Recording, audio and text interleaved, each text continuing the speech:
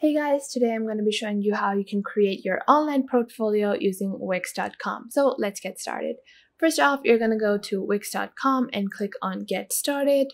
And then you can sign up on Wix. So it's very easy to sign up. You can just put in your email and your password that you want, or you can connect your Wix account to your Google or Facebook account. So I'll get back to you guys in a minute once I do that. So you can see over here, this is the Wix dashboard. So over here, you can see any of your sites that you have created. You can explore the Wix platform. You can see their updates, releases, inspiring websites, and e-commerce school.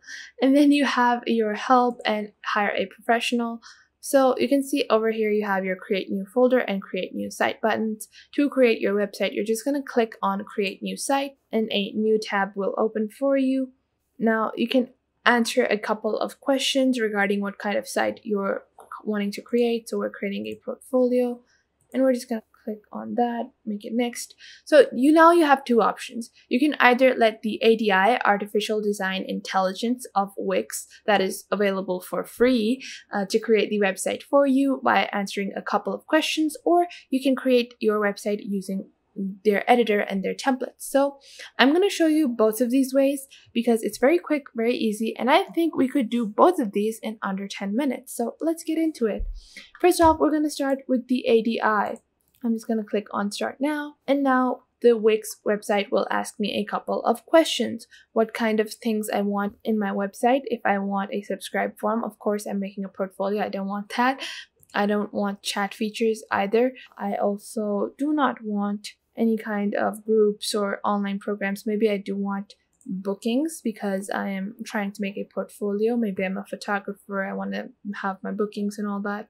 And yeah, that's about it. I'm just going to click on next and then you you are going to add your name. So let's just say Jane's photography and then I'm going to click on next and if you already have a website or a um, store, a pop up store or a retail store, you can link that over here. I don't, so I'm just going to skip that. Now you're going to add your personal details. And now you are going to select your theme. What kind of theme do you want? So maybe you want a kind of Hmm, what kind of theme are we going for, guys? I really don't know.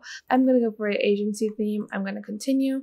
And now you are going to be provided with a couple of homepage designs that you might want to choose from. Let's just, maybe let's pick one of these. Mm, no, let's skip. Let's browse more. Let's be picky today. Now, you're just gonna wait a couple of seconds so over here, you can add specific pages to your site. So if you want to add a page for your work to, you know, display your work, obviously on a portfolio, you will want to do that.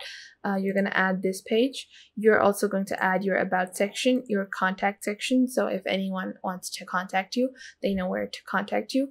Um, Instagram feed uh, might be important, but it depends on the kind of industry you're working in. If you want to link your Instagram feed, if you're working in the media industry, you might want to do that. Let's just skip that for now and let's edit our site. Now the Wix artificial design intelligence is doing all of the hard work for you. You don't have to, you know, do all the difficult decisions all by yourself. You can just do that and here you have it. Now you can see a logo has been made. The top menu button is here. Obviously you're gonna edit that. So let's just edit it and then we are going to add a phone number add a button for getting in touch. So where employers or anyone can get direct access to you and you, you know they don't have to scroll all the way down. And now we are going to edit the site menu and you know the book online section. Maybe you don't want to add that or maybe you want to ma- make it at the bottom. So let's just move that down there. So your home page, your work page is the first thing that your future employer could see. And now going back, now for this section design, you can even change that. So just click on that and different kinds of layouts are going to be provided. Different color schemes are also provided. Now let's just say I want it to be pink because I really like pink. And now my header has been changed into pink.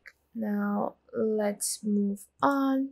So all you're really gonna do once you have used the ADI is fill in your information. So whatever is your contact number or whatever is your getting in touch kind of situation, you're going to put that link over here. then you're just going to change this about page. So let's just click on edit and then you're going to change this um, paragraph. This is like a standard paragraph. So you can just change it to whatever you want. So just like that, you're just going to change your about section to whatever you might want to might want to display. And once you do that, all of your changes are auto saved, so you don't have to worry about that. And below that, you have your My Work section, and you can move this up. So let's just say maybe you want to move up your work.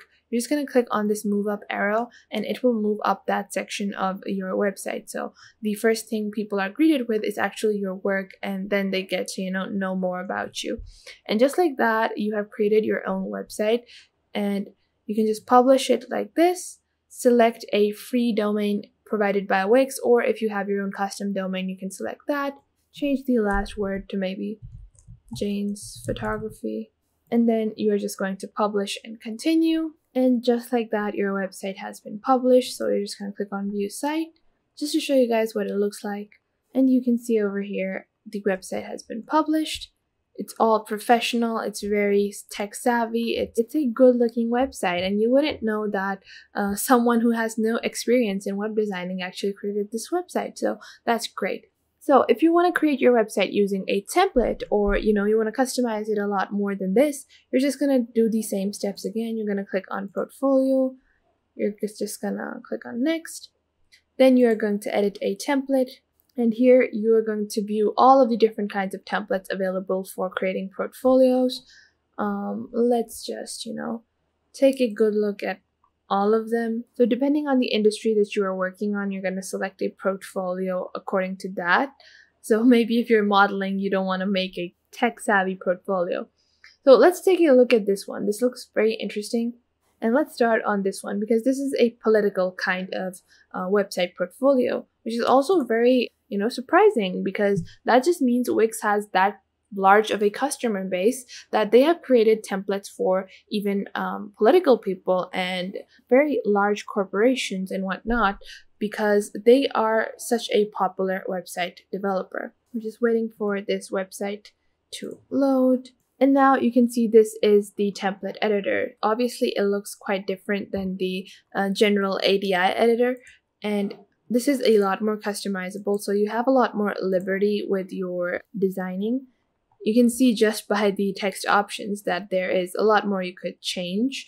And you're just going to change all of the information that is present in the template to your information. So let's just say Jane Doe for, and then you can, you know, change everything else as well. So let's just say we are going to change this image Obviously, you're gonna change the image to an image of yourself. I'm just gonna use some media from Wix. This looks like a good image. I'm gonna choose this image and now my image has been added to my Wix site.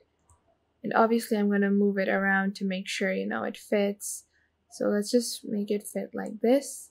And let's move this over here to the bottom like that move this box over here, move the image like that. And you know, just like that, you can create your website using a template on Wix. And there is a lot more customization with the template. So if you're a beginner, I would say just use the ADI.